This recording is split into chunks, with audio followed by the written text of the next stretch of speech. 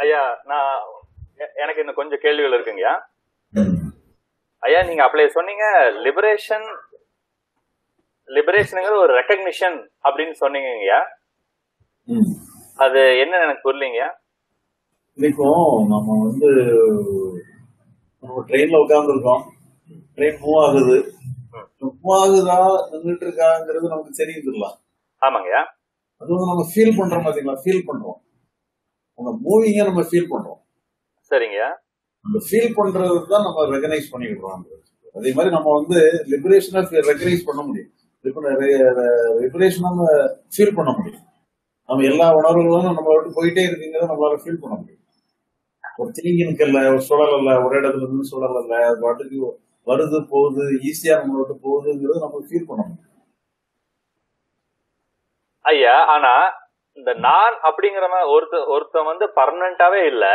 அப்ப ஒருத்தனுக்கு அது தெரிஞ்சிச்சுன்னா அப்புறம் அடுத்து வர்றவனுக்கு அவனுக்கு தெரியாது இல்லைங்களா அப்ப நானுங்கிறது பர்மனண்டா இல்லாதப்போ இந்த லிபரேஷன் அப்படிங்கிற ரெக்கக்னிஷன் மட்டும் எப்படிங்க பர்மனண்டா இருக்கும்?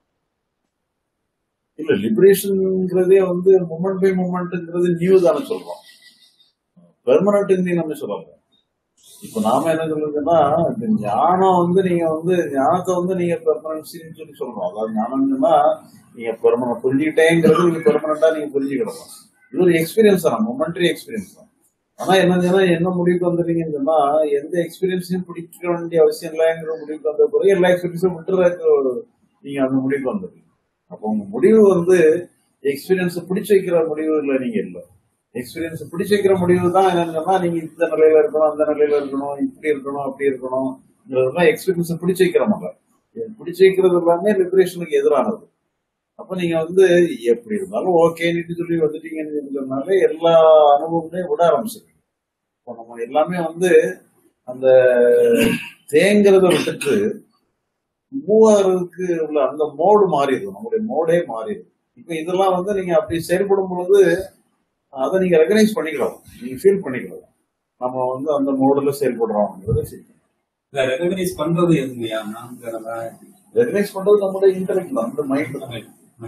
அது மெமரியில ஸ்டோர் ஆயிருக்கு மெமரியில ஸ்டோர் ஆகிறதுனால தான் அது கண்டினியூட்டி இருக்கு. கண்டினியூட்டி இருக்கு. இல்லாட்டி அவங்க சொன்ன மாதிரி நான்கிறது ஒவ்வொரு- ஒவ்வொரு சூழ்நிலைக்கு தகுந்த மாதிரி புதுசு புதுசா ஒருத்தன் வராங்க அந்த சூழ்நிலைகளோ எண்ணத்துக்கோ புதுசு புதுசா வராங்க. பட் ஆனா இது வந்து மெமரியில வந்து ஸ்டோர் ஆயிருக்கனால அது வந்து நமக்கு இந்த இது வந்து பிரவாகத்துக்கு தடை இல்லாம அந்த கண்டினியூட்டி கொடுத்துட்டு மெமரியில ஸ்டோர் ஆகிறதுனால அது பண்ணிடுது. அதாவது எப்படின்னா மெமரி தான் காரணமா இருக்கு. இப்ப இந்த லிபரேஷனுக்கும் மெமரி தான் காரணமா இருக்கு. நம்ம வந்து புரிஞ்சுக்கிட்டோம் எல்லாம் நம்ம ஒண்ணும் பண்ண வேண்டியதில்லை எல்லாம் நல்லா தான் நடக்குதுன்னு சொல்லி இதுவும் இப்படியும் மெமரியில தான் நமக்கு ஸ்டோர் ஆகுது. அந்த மெமரியும் நமக்கு ஹெல்ப்ஃபுல்லா இருக்கு. இல்ல நம்ம வந்து ஏதோ ஒரு நமக்கு செய்யணும் அப்படி செய்யணும்னு சொல்லி அந்த அதுக்கும் நம்ம இப்படி அடைஞ்சா நல்லா இருக்கும் அப்படி அடைஞ்சாங்கிறது அதுக்கும் காரணம் நேற்று இந்த இதுதான் மெமரியில தான் நம்ம ஸ்டோர் பண்ணிக்கிறோம் நம்ம நேரத்துல ஒண்ணும் செய்ய முடியாது. சரி. அதே மாதிரி இப்ப நம்ம நான்கு நபர்த்தன்மை போலிங்கிற விஷயத்த வந்து நல்லாவே ஸ்டோர் பண்ணிட்டோம்னாக்கா அது வந்துருந்தோம் இந்த நான்கு நபர்த்தன்மை போலிங்கிறத நம்ம அப்படியே ஸ்டோர் பண்ணிட்டோம்னாக்கா ஸ்டோர்னா மெமரியில ஸ்ட்ராங்கா பதிவு பதிவாயிடுச்சுனாக்கா. இவ்வளவு போராட்டமே கிடையாது போராட்டங்கள் வர்றதுக்கு காரணமே வந்து நீங்க சொன்ன மாதிரி ஒவ்வொரு சுச்சுவேஷனுக்குமே வந்து தடை பண்றதே பாத்தீங்கன்னாக்கா அந்தந்த சுச்சுவேஷன்ல முரண்படக்கூடிய ஒரு தன்மை உள்ள ஒரு நான். ஒரு உணர்வு வந்து இது வேணாம் மாறணும்னு நினைக்கிற ஒரு ஆள் தான் வந்து ம். சோ இவனே போலிங்கிற ஒரு விஷயத்த ஏன் நம்ம வந்து அந்த அந்த அது பர்மனண்டாவே அதை நம்ம எப்படி நம்ம வந்து அகத்துல ஒண்ணும் செய்ய முடியாதுன்ற ஒரு பர்மனண்டா நம்ம ஸ்டோர் பண்ணதுக்கு அப்புறம் மாற்றங்கள் நமக்குள்ள வருதோ அது மாதிரி நான்கு போலிங்கிறதுல வந்து நல்லாவே அது ஸ்டோர் ஆயிடுச்சு அதெல்லாம் புரிஞ்சு புரிதல் புரிஞ்சிட்டோம்னாக்கா. அது இன்னும் கொஞ்சம் அந்த ஃப்ளோ ஃப்ரீ ஆயிடும். இல்லையா இன்னும் கடற்கரை எல்லாம் இன்னும் ஃப்ளோவா போக முடியும்? சரி எப்படியோ எப்படி வேணாலும் பண்ணிக்கிடுங்க ம். இல்ல அந்த இடத்துக்கு எப்படி வர்றதுன்னு தான். பழையபடி எப்படி வர்றது? கேள்வி வராம பாத்துக்கணும் அவ்வளவுதான். நீங்க புரிஞ்சுக்கிடுங்க. புரிஞ்சுக்கிட்டா ஓகே நல்லா தான் இருக்கு. அந்த இடத்துல எப்படி வர்றதுன்னு? கேட்டீங்கன்னா எப்படி ஒரு இல்லையா? ஒரு சூழ்நிலைக்கு ஒரு பிரச்சனையை ஃபேஸ் பண்றோம்னு வச்சுக்கோங்க. ஒரு வெளியில தான் வெளியில நடக்கிற ஒரு சூழ்நிலை இருக்கு. அந்த சூழ்நிலைக்கு வரக்கூடிய பிரச்சனையை தீர்க்கக்கூடிய ஒரு நபர் இருந்தாதான் அந்த பிரச்சனையை தீர்க்க முடியும். சோ அந்த பிரச்சனையை மட்டும் தீர்க்கக்கூடிய நபரா இருந்து பிரச்சனையை தீர்த்துட்டாங்கன்னா பிரச்சனை இல்லை. ஆனா அந்த பிரச்சனையை தீர்க்கக்கூடிய நபர் வந்து நான் தான் தீர்த்தேன்னு ஒரு ஒரு ஒரு ஒரு இதை எடுத்துக்கிறது ஸ்டாண்ட் எடுக்கிறதோ இல்ல நான் தீர்த்த பிரச்சனைக்கு ஒரு அங்கீகாரம் கிடைக்காதா அப்படின்னு ஒரு ஸ்டாண்ட் எடுக்கிறதும் அந்த மாதிரி விஷயங்கள் வந்து அங்க பாதிக்க கூடதான் இன்னும் கொஞ்சம் ஸ்ட்ரகிள் நிறைய நடக்குது. இதெல்லாமே வந்து இந்த மாதிரி லாஜிக் எல்லாமே ஒரு விஷயத்த க புரிஞ்சுக்கிடுறதுக்கு கடைசியில் கன்க்ளூஷனுக்கு வர்றதுக்காக பண்றதுதான் உதாரணமா ஒரு கணக்கு போடுறோம். கடைசியில் ஒரு விடை வருது.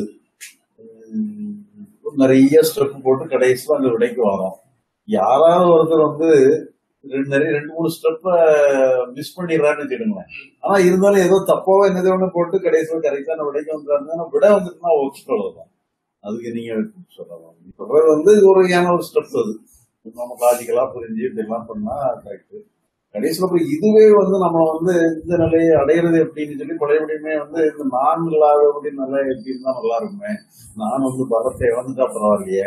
நான்கிறது ஒண்ணுமே இல்லைங்கிறது நல்லா புரிஞ்சுக்கிட்டா பரவாயில்லையேன்னு சொல்லி பழையபடி ஒரு டிமாண்ட் வச்சுட்டோம்னா அதை வச்சுக்கிட்டே ஒரு போராட்டம் வந்துடும் அது.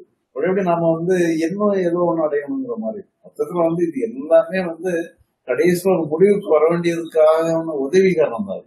உதவியானது முக்கியமே கிடையாது. இதெல்லாம் ஒரு கட்டணம் கட்டுறதுக்குள்ள சாரம் போடணும் அது. சாரத்தை உபயோகிச்சியும் கட்டடத்தை கட்டலாம். வேற ஏதோ ஒரு அடிமையும் கட்டடத்தை கட்டிட்டீங்கன்னு சொன்னா கட்டணம் கட்டிட்டா சரி அவ்வளவுதான். இல்ல ஆக்சுவலா நம்ம முடிவு வந்து ரிசல்ட்ட கண்டுபிடிச்சிட்டோம். ஆனா இப்ப வந்து இது ஆராய்ச்சி பண்ணிட்டு இருக்க மாதிரி தோணுது. ரிசல்ட் வந்துட்டோம். சரி அதாவது ஒன்னும் பண்ண முடியாத ஒரு ரிசல்ட் வரக்குள்ளே இது ஆட்டோமேட்டிக் இதெல்லாம் வெளி- விட்டு போகுதுதான். ஆமா. ஆனா நம்ம திருப்பி வந்து பிரச்சனைகள் வரக்குள்ள திருப்பி ரிவர்ஸ்ல பாக்குறோமோன்னு ஒரு டவுட் ரிவர்ஸ்ல வந்து பாக்குறோமா? இத இது வந்து இப்படி வந்தா இது கிளியர் ஆகும்னு பாக்குறாங்க முடிவு நமக்கு தெரிஞ்சிடுச்சு முடிவுல தான் இருக்கும். ஆனா இது தடை அந்த மாதிரி ரிவர்ஸ்ல பாக்குறது நீங்க திரும்ப தடையா திருப்பி தடையா வர்றதுக்கு வாய்ப்பு இருக்கு. அது தேவையில்லை அதையும் தூக்கி போட்டுட்டு ஆமா அது பண்ணிட்டு நீங்க ஃப்ரீ ஆகிட வேண்டியதுதான். ஏற்க வந்தாலும் தானே விட்டுற வேண்டியதுதான்.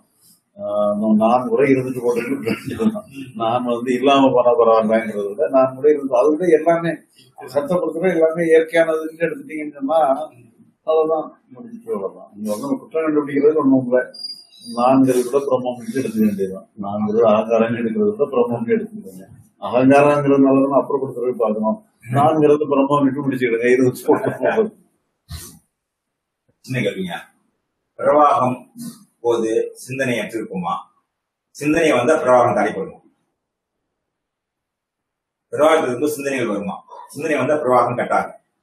அதாவது எது ஏற்பட்டாலும் அது போயிருது இல்ல போயிடுங்க அதான் பிரவாகம்.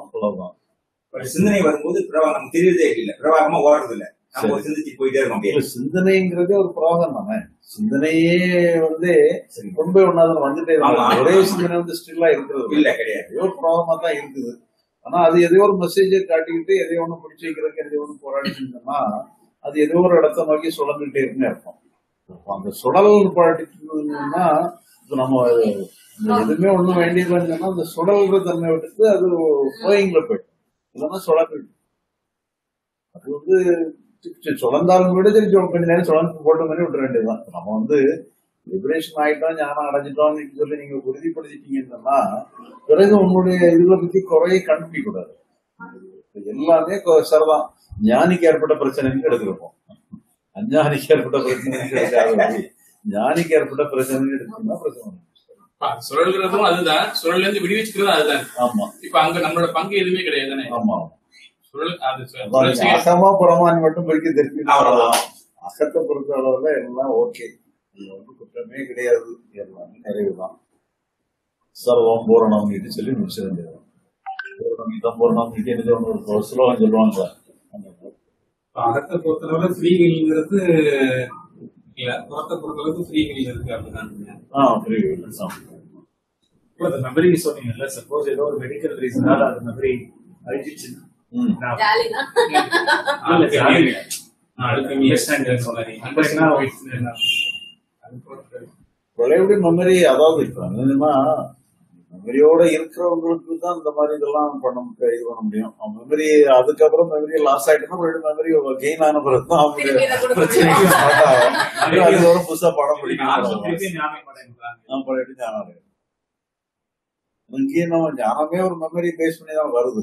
வருது அதுக்கப்புறமே லிபரேஷன் இருக்கு. சொல்ல போனா next birthல நீங்க ஞானம் விட்டா இது பண்ணணும்னு சொல்றீங்க. மெமரி இருக்காதுல்ல நம்ம இறந்த பிறகு மெமரி கண்டினியூ தானே செய்யுது மெமரி எல்லாம் அழியாது. மெமரி இருந்துட்டே தான் இருக்கும். அது மெமரி எப்போ போகுதுன்னா இன்னொரு பர்த்துக்குள்ள நீங்க எடுத்ததுக்கு பிறகு பழைய மெமரிய இருந்தா ரெண்டு நீ எவ்வளவு பிறப்பு எடுக்க முடியாதுல்ல அதனால இயற்கையை வந்து பழைய மெமரி எல்லாம் க்ளோஸ் பண்ணிடும். புது மெமரிக்கு அந்த மோட மாத்தி விட்டுருக்கு அடுத்த பர்த் இருக்க வரைக்கும் அந்த மெமரி பேட்டர்ன் அப்படியே இருந்துட்டு தான் இருக்கு. இருக்கும் ஆமா. அதான் சூச்சம் சரி. அசூட்சம சரீரம் அதுக்கு பர்த் எடுக்கும்போது காரண சரீரம் மட்டும்தான் உள்ள போகும். சூட்சம சரீரம் காலியாகும் இன்னொன்னு அண்ணா ஒரு சூட்சுமம். ஆமா. ஐயா இப்ப வந்து